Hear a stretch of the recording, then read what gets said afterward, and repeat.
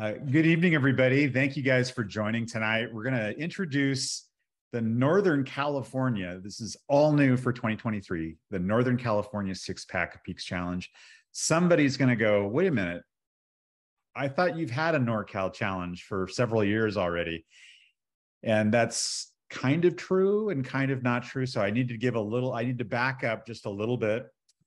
Um, we uh, when I was living in in uh, Berkeley in the Bay Area, I scouted all the peaks for the what is now called the Bay Area Challenge.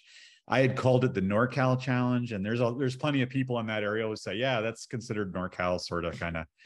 But then we also had a lot of feedback, like, hey, it'd be really nice to have some like real NorCal peaks up there uh, in a in a challenge, and so this is all new. It's based in the higher peaks. We'll talk a little bit more about that though. Um, I'm Jeff Hester. I'm the founder of the Six Pack of Peaks Challenge. And with me tonight, I have our trail curator and guidebook author, uh, you know, prolific guidebook author. And a lot of them are just basically on the hikes that we're talking about in this challenge.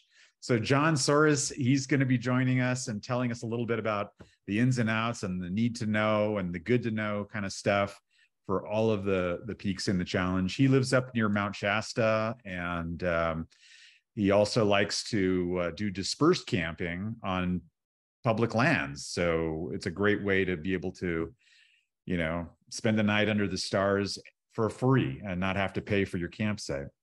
And he's got all of these books on here we'll talk about how you can connect with him and you know find out more about all his books and all of that good stuff i'm going to take a few minutes probably five or ten minutes and just kind of lay the set the stage for how what is the six pack of peaks challenge? How did it all get started? What's it all about?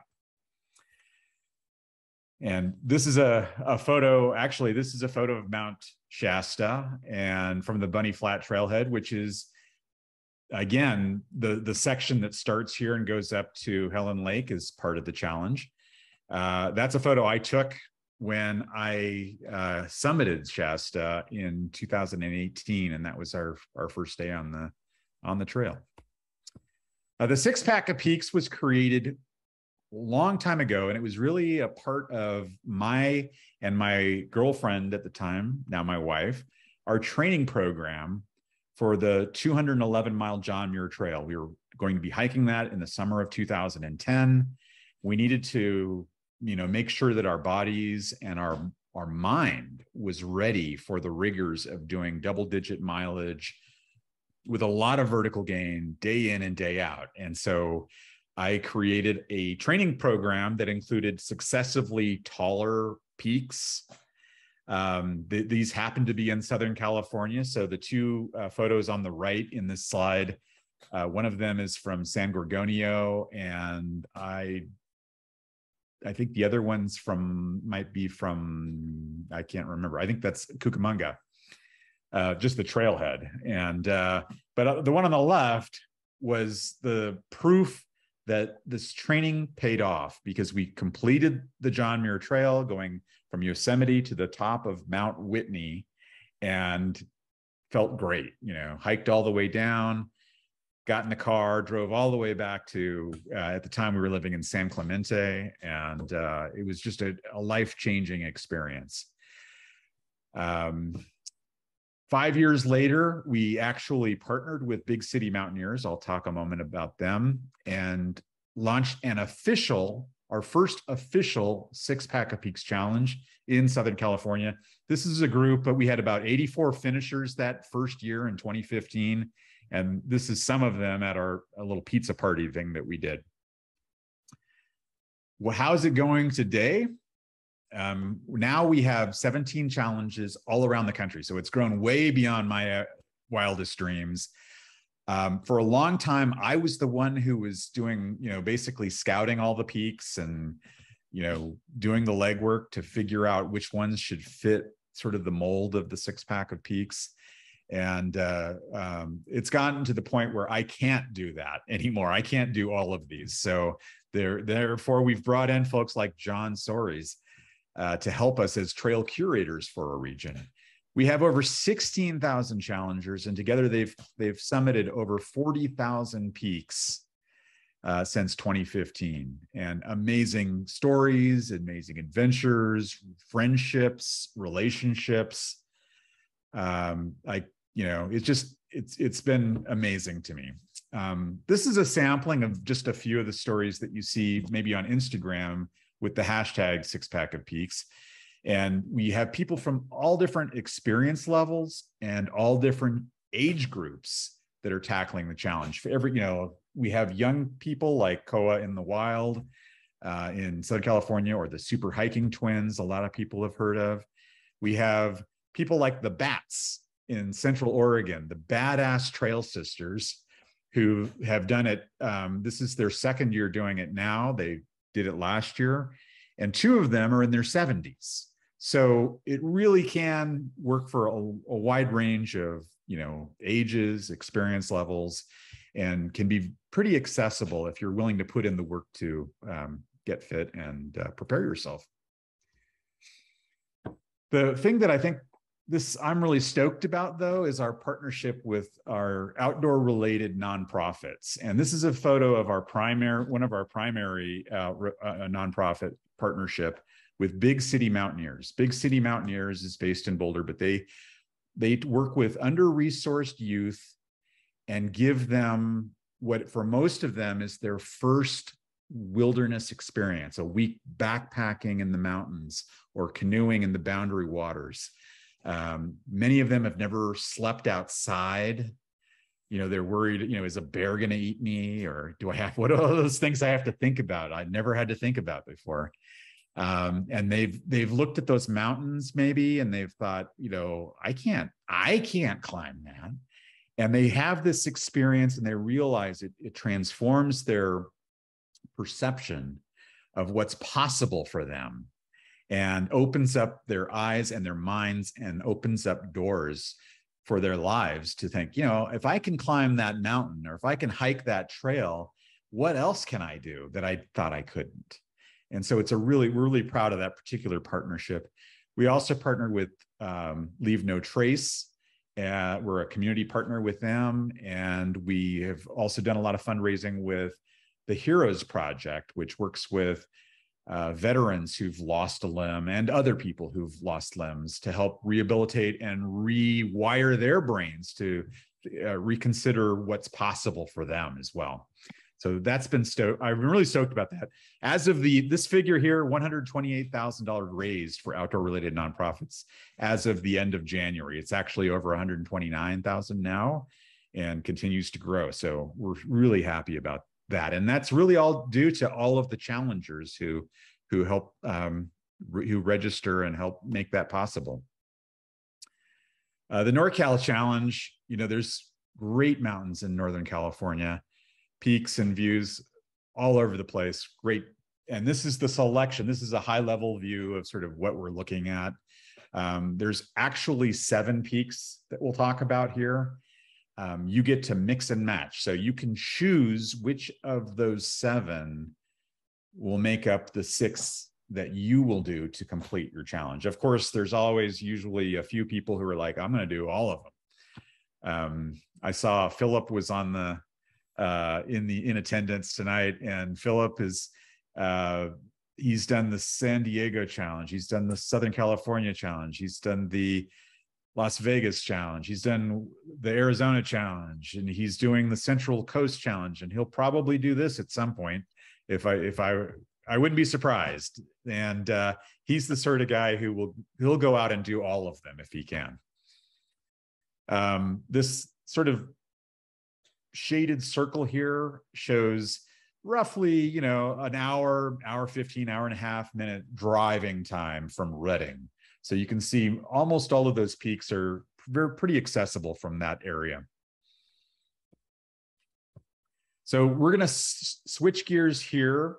We're going to take a quick look at the website socialhiker.net, which is uh, and the overview that we have for the Northern California Challenge.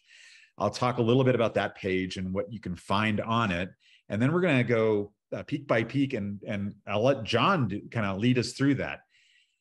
Um, one little piece of housekeeping, I mentioned this before we really kind of kicked off with the slides, is that if you have questions, there is the ability for you to ask a question.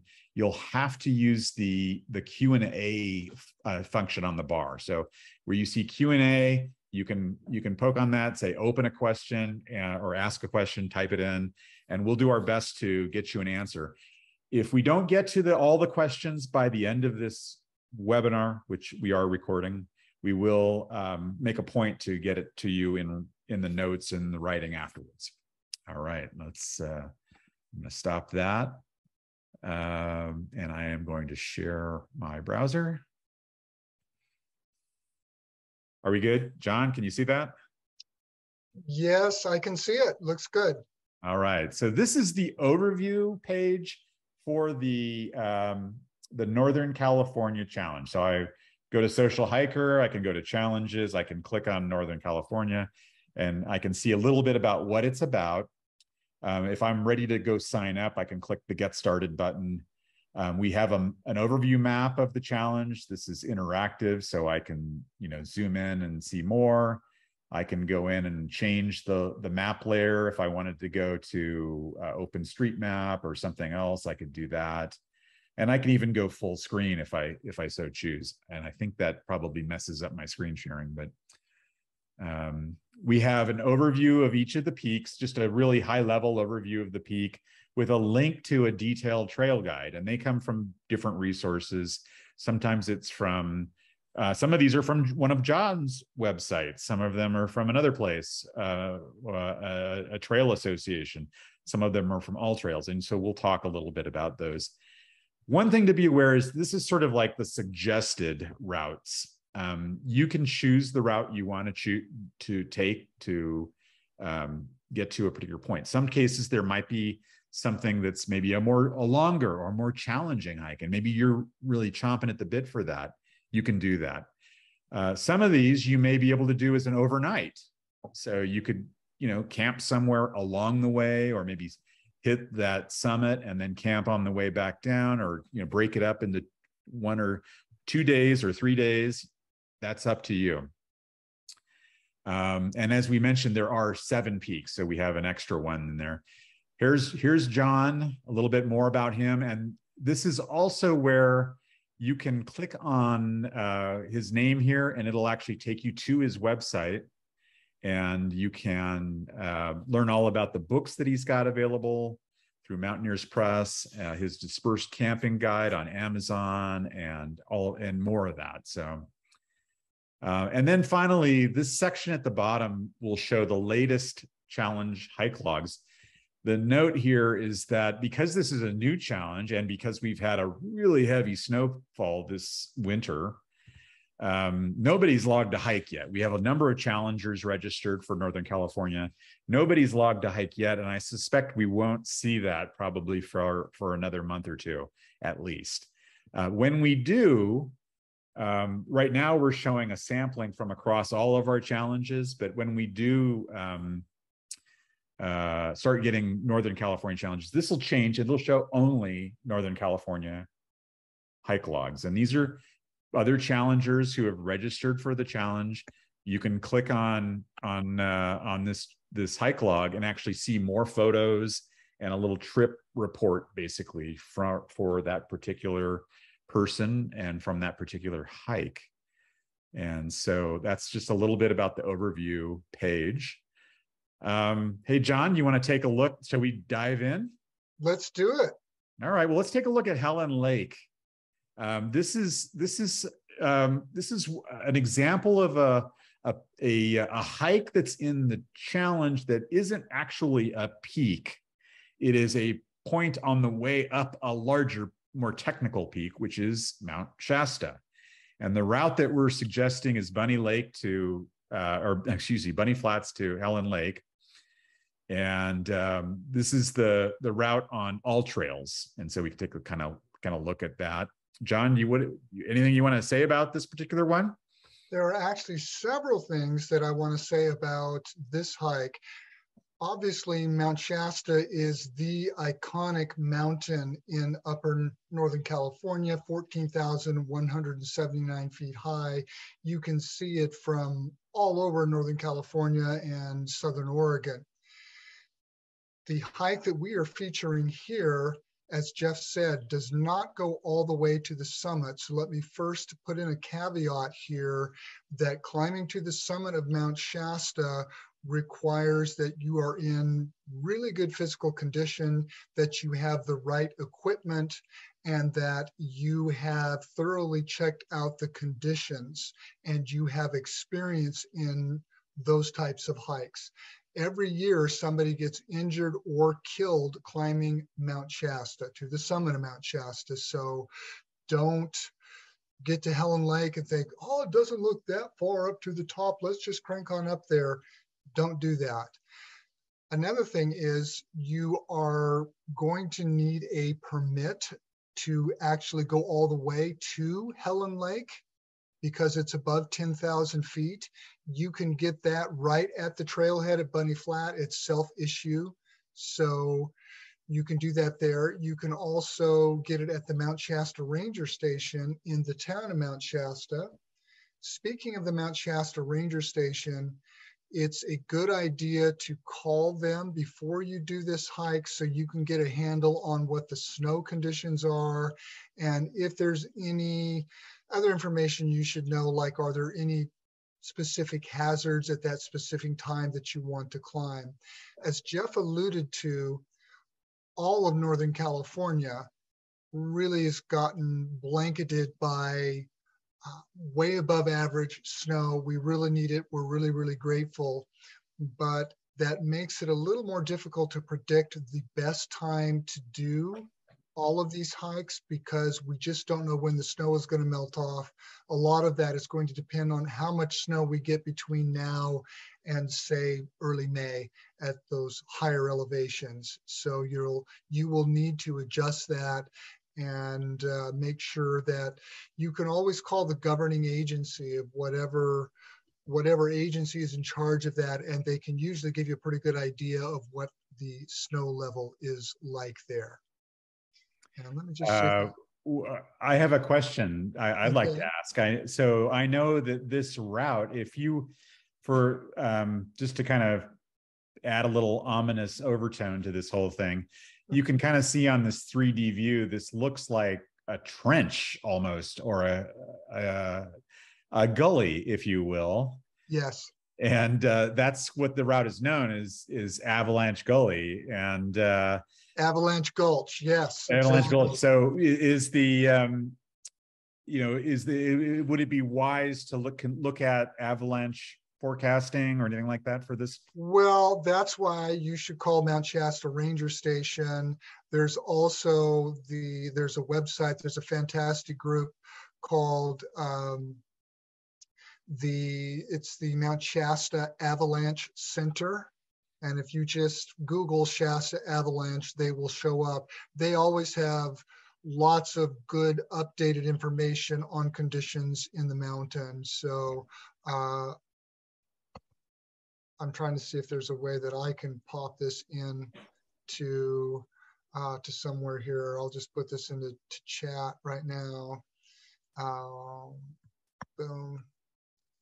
There we go. So that will help you to to see you know to see what's going on there and you'll see people actually do climb it in winter but if you climb it in winter you really got to know what you're doing i mean that's really not for uh, anybody who is at any level of amateur status when it comes to mountaineering skills. So I am definitely not at all encouraging you to do it in winter. Right. Um, one other thing I'll, I'll just mention, having been there, Helen Lake isn't really a lake so much. No, as... it's not. It's just a flat place. It's where people camp when they're doing an overnight trip people will they will often hike to Helen Lake, spend the night on this flat area, and then get up at two in the morning and then make their summit push, which lets you know that this is not something that can really be done in a day. I know people who have done it in a day, but they are serious hardcore hikers. The one person I know that has done it is is Lori Bagley, and she's also climbed Mount Everest. So that that should give you some idea that uh, it's not for uh, it's not for everybody to do that. It's 7,000 feet basically from Bunny Flat to the summit. And there, there are guide services that do guided trips up Shasta. So if somebody is interested in taking it up to sort of that next level, that would be outside of the scope of this challenge, but yes. that would, might be a good way to uh, um, learn more and and do it in a way where you're working with people who um, understand the risks and and the safety equipment and can help get you outfitted and trained and and lead your way up there know when it's time to turn around. That's probably the most critical thing is like you, you whenever you do a mountain like this it's an attempt. It's not i'm going to go summit this. It's i'm going to try to summit it. And if if the mountain lets me i'll i'll do it. And if everything can, works together the weather and and my body and my training and my equipment and everything and my team uh, it may happen. But uh, if any of those things falls apart, then you need to know, like, oh, we're going to turn around here, and that's we're not going to make the summit this time. So yeah, all of that is fantastic advice, and I would strongly advise somebody who actually wants to summit the mountain to go with a guide service. And there's two or three good ones in the Mount Shasta area. You can Google that and, and find them. Almost all of the ways that you would summit Mount Shasta go right by Helen Lake, although there are other routes to go to. And if you can get to the top of the Shasta, Mount Shasta by going the, the northern route or along the eastern side, then uh, I would say you've done really well regarding the challenge. I don't know if Jeff would still let you put the pin in it, but uh, you know, I would say you'd gone above and beyond. Yeah. All right, let's talk about Black Butte. This is this is one that you see right off Interstate Five um, as you kind of like pass through or near.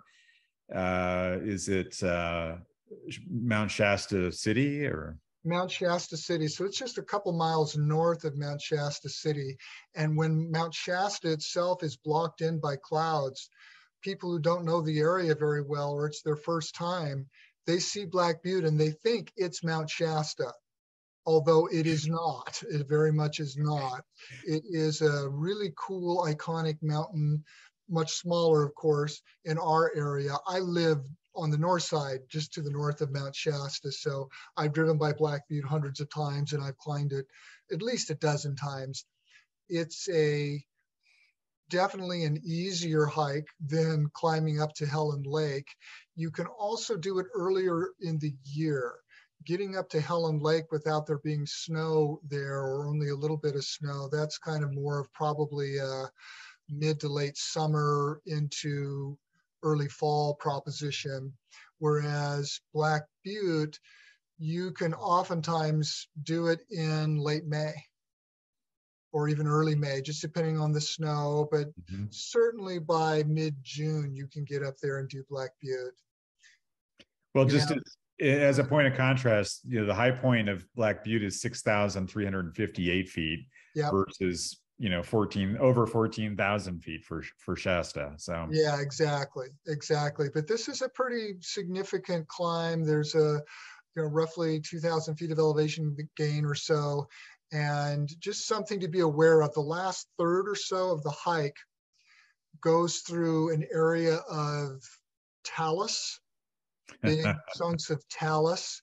You will be able to see the root, but just be aware you will be rock hopping and just going from rock to rock. A few of them will be will move underneath your feet or could move underneath your feet.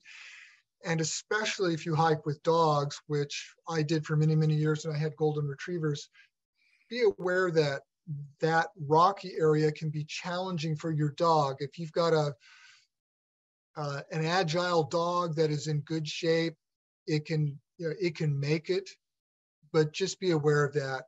That that may not be an easy thing for your dog if you want to take your dog on it. Yeah, yeah. Keep going down see. there, Jeff. I think I've got a picture uh, of the talus coming up there. Um, oh yeah, there's some. That's the area. I don't actually have the trail, but that's the area where the talus is. Yeah. Yeah. Some great views on there though. I know when Oh, I've driven past it, I've looked at it and I thought, you know, I've wondered about the trail up there, and I thought, you know, it looks really tough. You know, just from not knowing that there is actually a trail. You know, look, looking at from the freeway side, it, it looks really, really tough. it's very steep. So you look and think, ooh, I would not want to climb straight up that.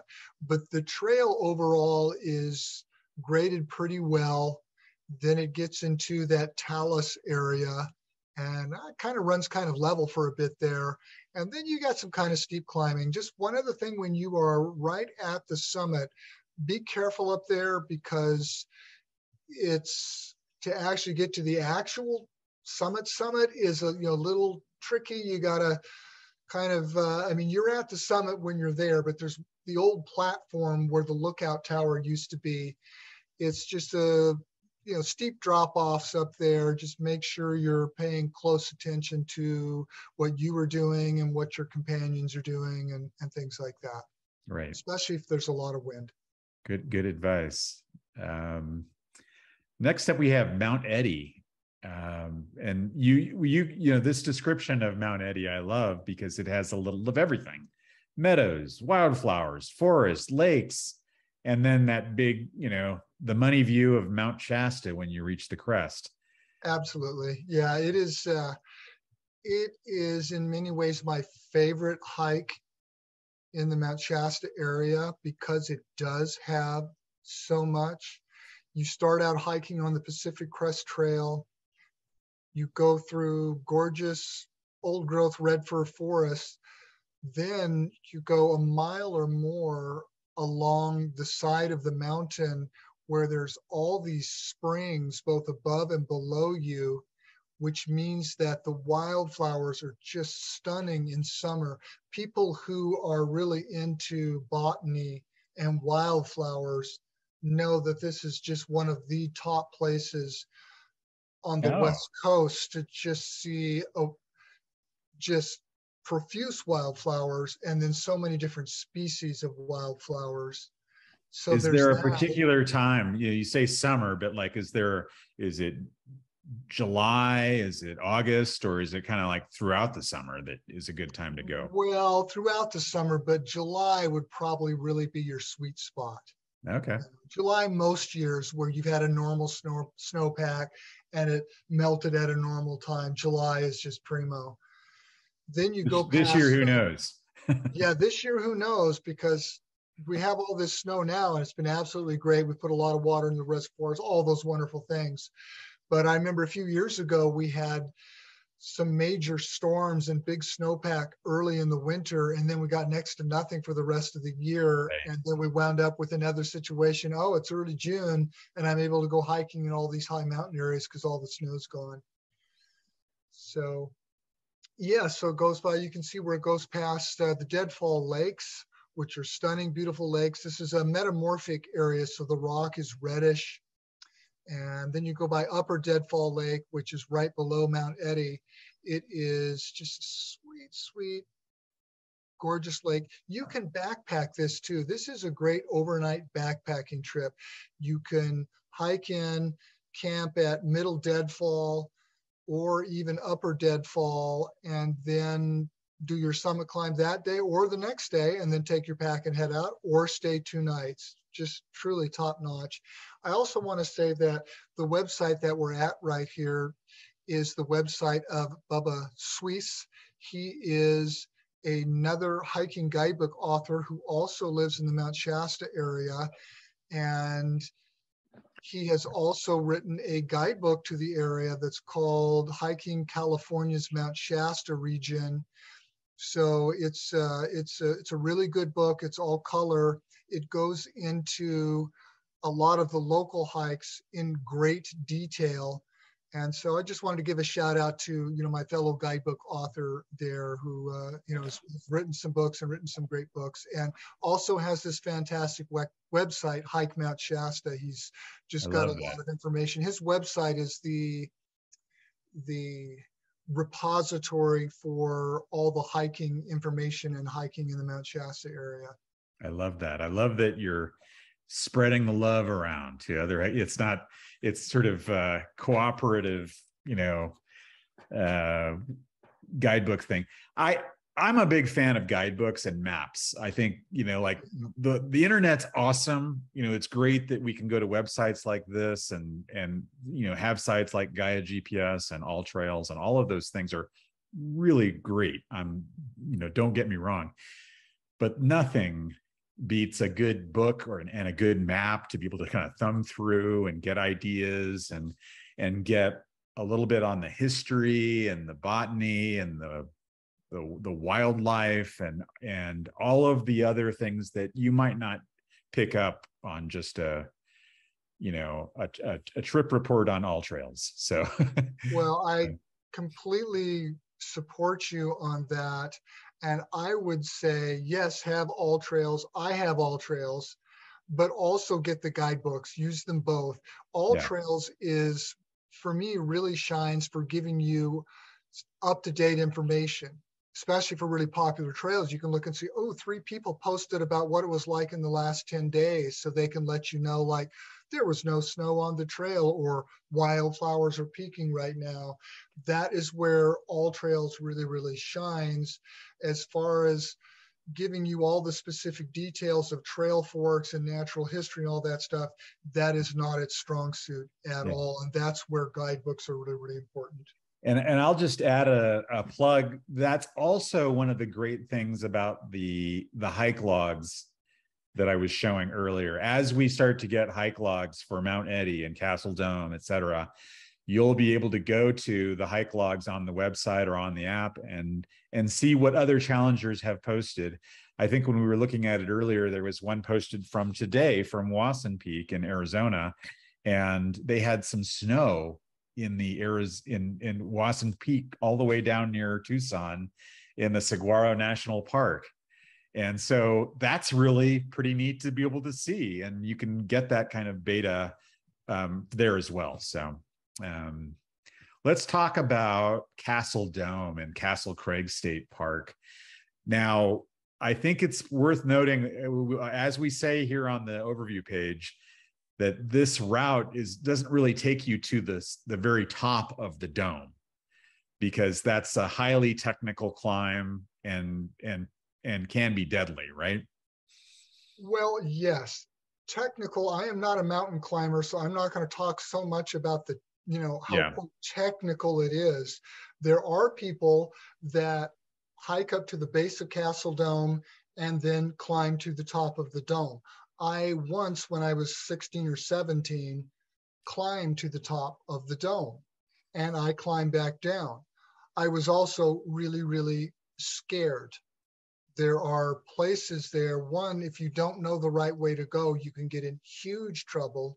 Right. And even if you do know the right way to go, there are times you are doing things where if you slip, you are going to die. So those are things that I just I don't do that anymore. So do not try to climb to the top of Castle Dome. However, you will be more than happy just to get to the base of Castle Dome, there are stunning beautiful vistas of Mount Shasta. There's Castle Crags itself, which is all granite, really cool spires and neat things all around there. So you'll be very happy just to have done that. One other nice aspect about Castle Dome is it's a hike that you can do probably nine months or so out of the year, eight or nine months out of the year, because it really tops out at about 4,800 feet or so. That means oftentimes it's below the snow line. It's not right now. There's definitely snow on the trail right now, so don't go right now. Yeah. But it's quite likely that you could do it in in April, especially if there hasn't been a, a, a storm that's dumped any snow within the last week or 10 days or something like that. So that's that's the of all the hikes that are in this challenge, that's the one that is the lowest elevation and that you can, you know, get off your get off your list earliest and the yeah. and the easiest. Uh, I also want to put a little plug in here for the Mount Shasta Trail Association. We're on their website right now. They are a fantastic organization that's been around for, I don't know, 30 years or more. They built many, many miles of trails in the Mount Shasta area. They maintain lots and lots of trails. And especially over the last decade and a half, they've been really involved with building a network of dozens of miles of mountain biking trails on the lower slopes of Mount Shasta itself, just outside of the town of Mount Shasta. So the town of Mount Shasta and the region is really starting to become a mountain biking mecca in addition to being a hiking mecca.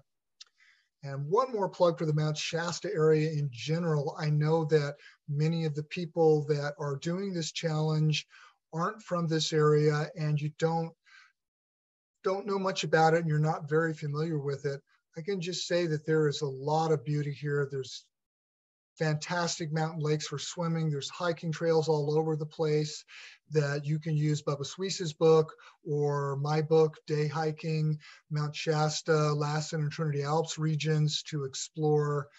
There's restaurants, places to stay, campgrounds. You can do dispersed camping all over uh, I wrote a book on dispersed camping slash boondocking. I do it all the time in this area. There's just hundreds and hundreds of places to do it all over. So anyway, that's my plug for Mount Shasta. Now I think we're moving on, heading south. Yeah, let's look at let's look at Brokeoff. So we're down to Lassen Volcanic National Park. Yep. Um, and Brokeoff Mount Mountain, 6.9 miles, 2,500 vertical uh, feet um, this link takes us to AllTrails, kind of gives you sort of the, the big overview of this. Um, and you can kind of see the breakdown, you know, where you go, begin the climb, final ascent, and then the summit itself. What do you want to tell us about Brokeoff? What, what makes this so special? Excuse me. What I appreciate most about Brokeoff Mountain is it has, I've got to take a little drink of water, excuse me.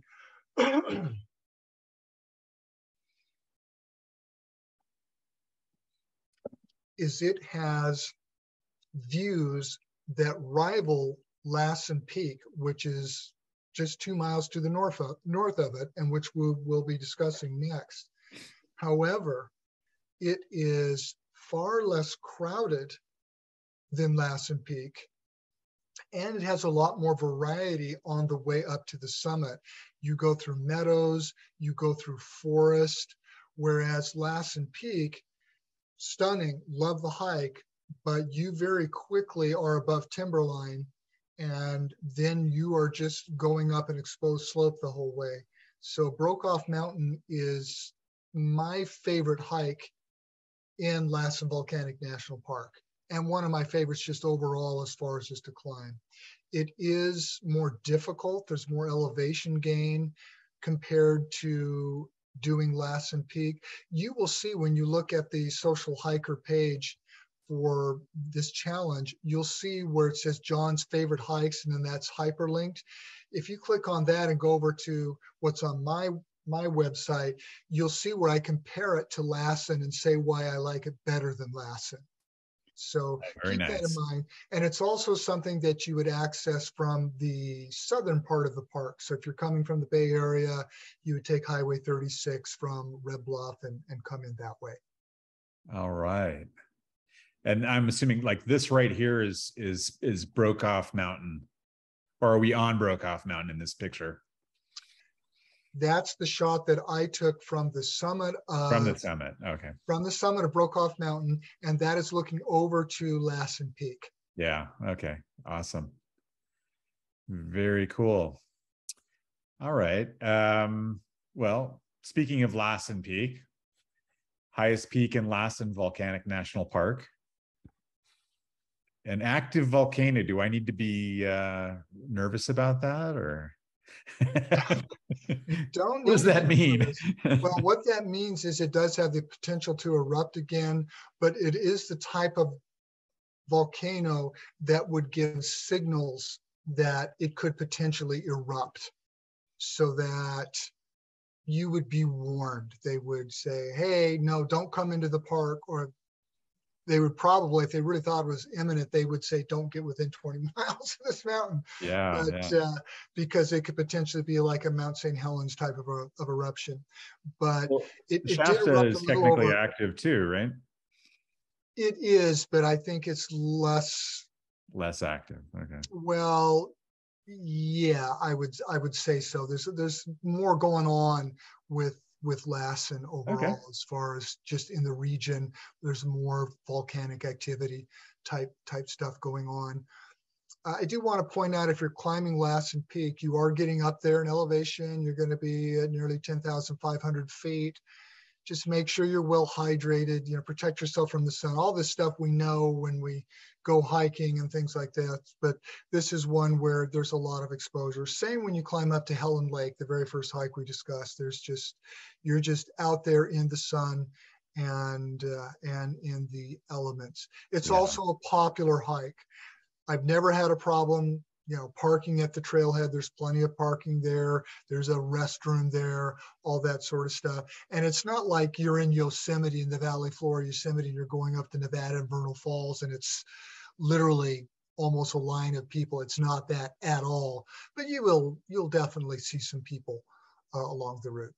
Mm-hmm. Whereas I will say when I climbed Brokeoff Mountain a couple of years ago, total the whole day going up and back, I saw maybe six other people. That's nice. That is, yeah, very nice. And we had the yeah. summit to ourselves.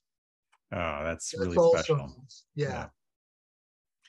All right. So Magee Peak is a little bit, it's, it's a different area. So um, it, it climbs 3,200 feet. It's, that's like about a thousand feet a mile almost, which I, a, you know, I, I consider that steep. that is steep. It, it's it's a grunt and it's a workout. And this is our. Uh, is, would you call this the alternate, Jeff? Or is it is called an alternate. Although basically, you'll uh, as a challenger, you can pick which of the which six of the seven peaks. So okay. if you want to do sort of the classic six, that would be the first six. Okay. Um, but you can you can use this. You can swap Lassen in, or you can um, uh, for any of the other peaks if you so choose. So, like, let's say you've already done Lassen Peak, you could do this peak instead. Okay. You know, yeah, like in the past, like maybe last year you did Lassen and you don't want to go back and do a repeat. You can you can do something new. All right. Well, Magee Peak is one where you might possibly be the only person on the trail and the only person up there. So wow. that's something very much in its favor. It is another mountain that has fantastic views. You'll be able to see Lassen and Brokeoff and Mount Shasta. It is also in Thousand Lakes Wilderness. Thousand Lakes Wilderness is to the east of Redding and just a bit northwest of Lassen Peak in Lassen Volcanic National Park. And you can backpack there.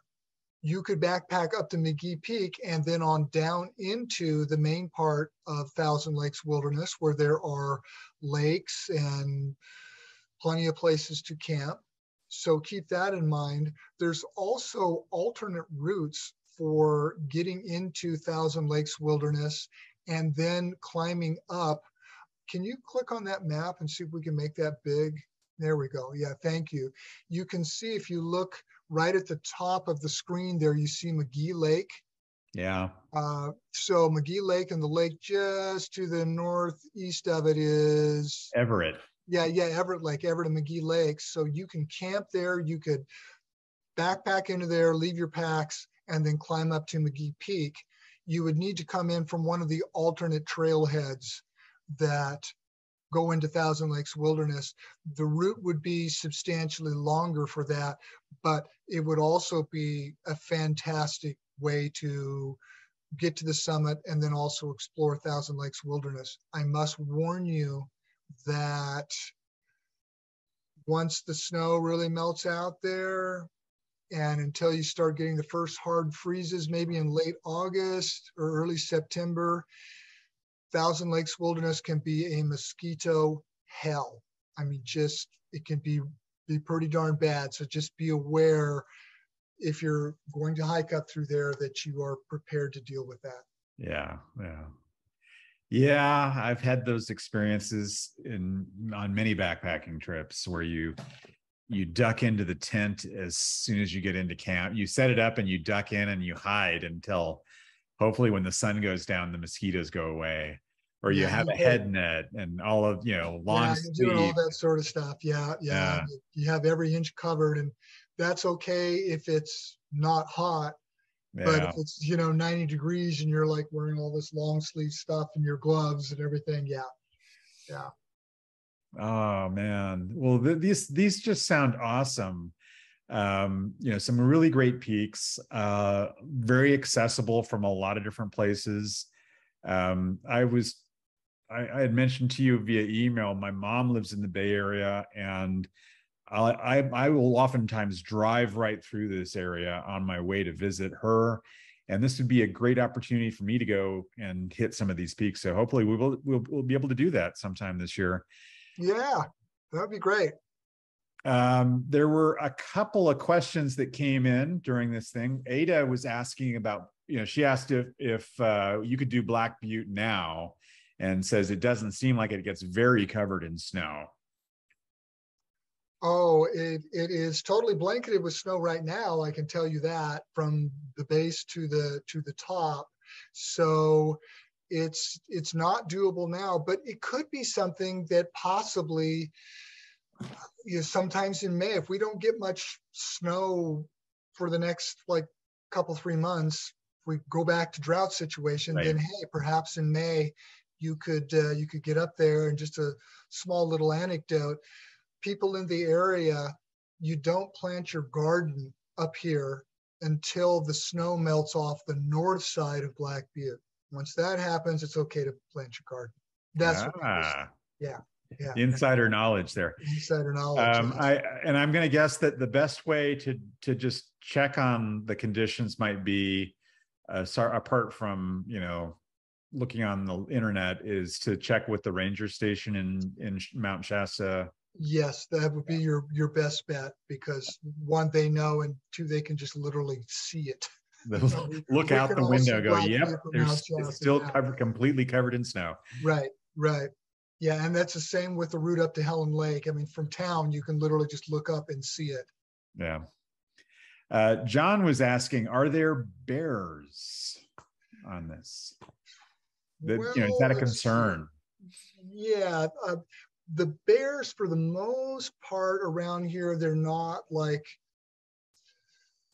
for the most part, they're not very habituated to people. So most of the bears around here are, oh, I see you, I'm running away type bears. So uh, scaredy bears. Scaredy bears. But let's see, if you are climbing, if you're going up to Helen Lake, not likely there would be bears up there that high in general, even like going up from Bunny Flat. I mean, there there could be. Um, so I would say you could see bears going to Castle Dome. You could see them going through Deadfall Lakes to Mount Eddy. Um, I think those would be possibilities. I'm going to look at the list here. Magee Peak, Thousand Lakes Wilderness there I'm I'm sure there are plenty of bears there. I haven't ever seen a bear there, but I I am sure that they are there in great numbers and very happy to be there. Lassen um, Peak, no bears. Brokeoff Mountain, you you could see a bear at the very lower elevations there. Question about the bears and backpacking. I know that in in many places in the Sierra Nevada, for example, um, a bear-proof container is required, usually a bear canister in some places. Is that a, a, concern if somebody wants to do these as an overnight trip? Do they have to have a bear-proof canister or can they counterbalance and hang their food bag? Well, I, I think that you know hardcore backpackers would say better to have that bear canister and you know then you're covered. That said, I know that bear canisters are now required if you are backpacking in Lassen Volcanic National Park. Uh-huh. However, the two hikes that we have here are that are in Lassen Volcanic National Park are day hikes, basically. So do keep that in mind if you are going to backpack in Lassen Volcanic National Park. You need a bear canister. They are not required if you were to backpack in Thousand Lakes or Deadfall Lakes going up to Mount Eddy. Not required. So you could, you know, if you want to hang, you could do that and do that sort of thing. So okay. And the the trail running shoes versus boots, I'm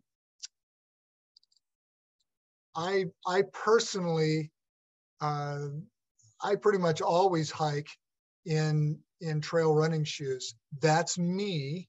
I have strong ankles and I'm careful where I place them and I just like super comfortable shoes. I have big old wide feet and it's real hard for me to find anything that fits well and I have these Lone Lone Peak Altras or is it Lone Peak? That the company? The Altra Lone Peak. I wear the same ones actually. Yes. And so like, you know, those are my shoes and that's what I'm wearing. And, you know, but so that's just a, a, different different sort of thing. But if you were to wear boots, I think that when you were climbing up to Helen Lake, that would be where you would most want those boots because there is kind of a rough, roughish trail kind of going up there, but it's real rocky and loose and cindery. So if you're bringing your boots, do it when you go up to to Helen Lake. All the others, there's there's an actual trail there, and then I'm really fine with my, you know, my Altras. Yeah, I, I tend to use my trail runners almost exclusively. A couple of exceptions. Um, I did a hike a couple weekends ago that was I knew was going to be very muddy and I and and there was a chance that it could also have we could have some precipitation, and I just thought, you know, I'm going to wear some waterproof boots for this, so I I did that. But most of the time, I'm wearing my Altra long Lone Peaks. I see Jennifer says, "Oh yeah, Altra Lone Peaks, best ever." Um, it is something that's very uh, personal. So really, the thing to do, John, is to make sure that you're comfortable hiking and w- whatever you choose, whether it's trail runners or boots. Um, and, and, as John says, he's he would do pretty much all of these within trail runners. One question though I have about that is, uh, what about gaiters? Uh, do you use like I know Altra? The, those Lone Peaks have a little um, gaiter trap and you know you can do like a little trail running gaiter it's not like a full on snow gaiter or anything like that but it's just a low lightweight gaiter to help keep some of the the pebbles and talus out of your shoe do you ever use those and would you recommend those on any of these I have not used those, but I think that they could be quite useful, especially going up to Helen Lake. Mm, yeah. And one other thing about Helen Lake is depending on what time of year, you might have to go through a bit of snow. There might be like, oh, here's a bit of a snow field that we have to cross over before we get to More Talus on the other side. And then it, you know, might be nice to have your boots there for that. Yeah. All right. Um, I don't see any more questions. Jennifer just added the bears are apparently so they're not like Yellowstone, the bears. And I, I would say, yeah, they're not so um, comfortable with humans. And as john said they will tend to if they see you they're going to tend to try to get away from you not go towards you. And uh, that's a good thing. And that's and the and that's a, another good reason for carrying if you do decide to um to do any overnight trips. That's another good reason for doing a bear canister because it does prevent the bears from getting to your food which once they once get they, to your food and if you're in a you know like a lake or a camp area where a lot of people camp they're going to start to think oh i can come back here and i'm going to do that again. And then that's bad for the bears, bears. and it's bad for the people. Uh, dalton asked another question. Any need for crampons on any of these? And I'll well yes if you would be doing it earlier in the year and there's some snow there so it could potentially be if you're climbing Lassen Peak, that there's some snow higher up, you might think, oh, I want to take some crampons. Uh, so that's something. But then also, again, if you were climbing to Helen Lake, that would be another place if there's snow there that you you you really might want to have the crampons, especially if there's a lot of snow there, because it does get kind of steep. The the, the route up to the summit, which is 100% not part of this challenge above Helen Lake, there you absolutely have to have crampons and an ice axe and know right. how to use them and all that sort of stuff. Helmet, yeah, everything. Yeah, yeah. yep. Uh, uh, yeah, and I should mention that most people, when they're doing these, cha- the six pack of peaks challenge, most of the people who are uh, doing these are waiting until there's no winter, what we would call winter mountaineering required. And anytime you're yeah. using crampons, you know that's not long. That's no longer a hike. It's it's something else. It's something called winter mountaineering, and there's a, additional risks and knowledge and skills that go along with that. So um, most people will wait until you know there's there may be a, a short you know traverse of a snowfield but it's not um it's not a mountaineering thing at that point and that's exactly what i would recommend um and then we have another question from Dalton. Are any of are any of the trails marked clearly enough to do in moderate snow early year stuff? Like, you know, I guess maybe blazes on trees or uh, signage or something like that?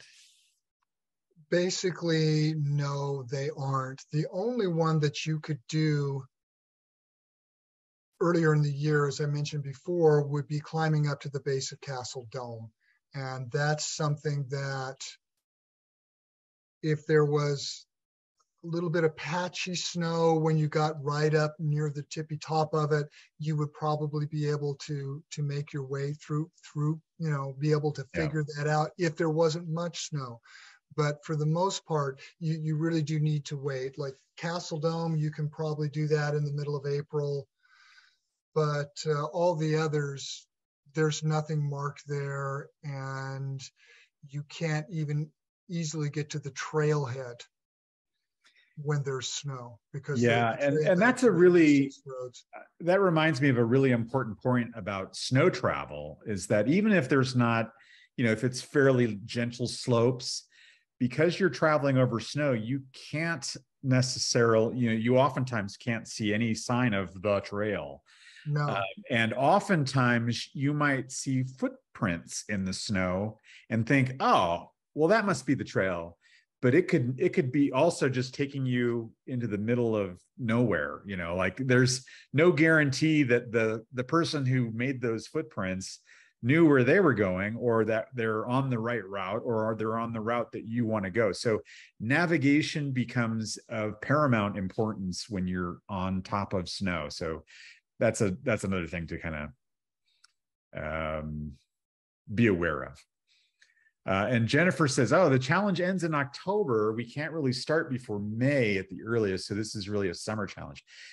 Pretty much, yeah. I, I mean, we were trying to what we're what we're doing is uh, the end of October, uh, beginning of November would be shoulder season. There's, there there could be snow, new snowfall at that point on on some of these peaks. So um, that's that's our target is to end at the end of October. We may reevaluate that after this year. This is our first year for this challenge, but um, yeah. So you're really looking at you know May, June, July, August, September, and October. You have six months, uh, six solid months to to to um, to do six peaks and I would really focus on that, you know, late June to mid September window, especially July and August as the time to get these.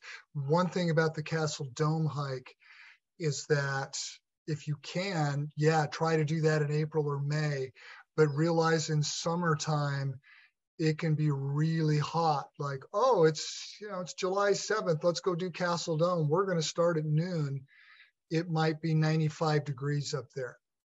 Oof. Yeah. Yeah. That's yeah, that's another thing to be aware of. And that's that's true on a lot of these, especially the trails that are exposed. Um, you know, I know heat, the the sun exposure makes a huge difference to my energy level and it can slow me down, you know, as it, whereas if it's overcast or if it's cooler or if I'm going through a forested section of the trail, a totally different experience. yeah, uh, that's it's really important. If you can, try to get a, a relatively early start to these hikes so that you can get a lot of the elevation gain out of the way. Like, boy, if you can be starting a trail at, at you know 9 a.m., you're usually in pretty good shape because most of these start at like 6,000, 7,000 feet or higher. So you're in pretty good shape with that. The only exception would be the Castle Dome Trail. Yeah. Uh, Dalton says uh, he had done the Bay Area six pack last year and saw tons of wildlife during his hikes. Um, what what kind of wildlife or what wildlife opportunities you know might exist on some of these hikes? Well, a lot of the wildlife that you would see in this area would be very similar to what you would see in the Sierra Nevada mountains, just kind of across the board. So if you've gone hiking up in you know the forest and higher peaks of the Sierra Nevada, you would see a lot of the same species, same same bird species and squirrels and chipmunks and uh, rabbits and, and things of that nature. We, as we discussed before, we have bear, although you're, you might see a bear. We of course have mountain lions, but you count yourself lucky if you ever get to see a mountain lion in your life because they're, I've seen a couple in my life, but they're they're not easy to see. But uh, you you'll be able to see, and of course deer. I mean deer where I live, we I, I see probably 30 or 40 deer a day. I don't even think about like oh in the neighborhood. Yeah, yeah. It's just you know your neighborhood deer. Um, so uh, yeah, you would see plenty of deer. That's for sure. Yeah. Very cool. All right. Well, this has been great. Uh, Philip just says, "Hey, great information and thanks." Um, he's going to put this on his bucket list for if not this year, maybe 2024. So uh, hey. that's awesome. John, I really appreciate your time tonight. I really love the list of peaks that you've helped us to come up with for this. And I think this is going to be um, a really sweet challenge to do for folks who take it on. And um, I think it's, I think we may see people coming from the Bay Area. We may see people coming from Sacramento we may see people coming from Oregon coming south to come do this, and um, uh, I just I I'm, I'm I can't wait to start seeing the hike logs roll in around May or June and July and this summer in particular. So um, looking forward to that. Yeah, well, I really appreciate you reaching out to me. I've had a great time thinking about what peaks to include and then working with you on that. And I've very much enjoyed this evening. Um, I'm just going to do one quick last thing. Um, let's see. And then we'll wrap it up. Um, oh, swag. I just wanted to mention for people who do register, you can use uh, John's name, J O H N, John, just John. When you check out, put that in the coupon code and save 20% off your registration for the NorCal Challenge. Um, you'll get a hiker tag in your welcome pack with some stickers.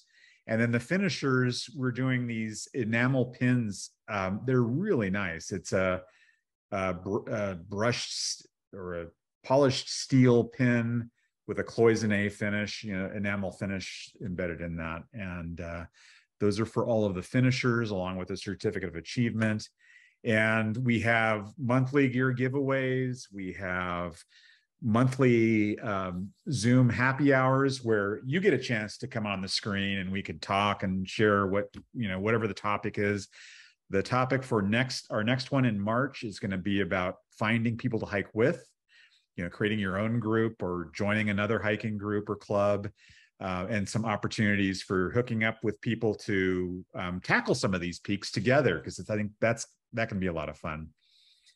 And and I just wanted to finish close out by saying thank you all so much for joining us tonight.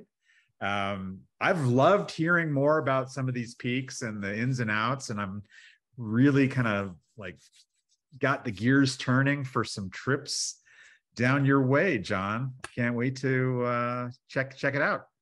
Fantastic.